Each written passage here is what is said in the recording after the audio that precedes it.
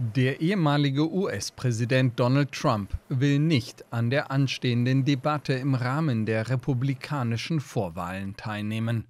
Trump erklärte am Sonntag auf seiner Social-Media-Plattform Truth Social, dass die Öffentlichkeit wüsste, wer er sei und was für eine erfolgreiche Präsidentschaft er hatte.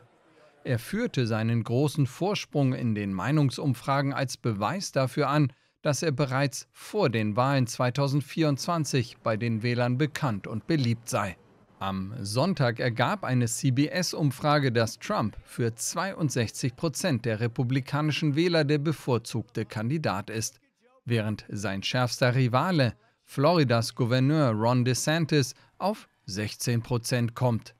Alle anderen Kandidaten blieben im einstelligen Bereich.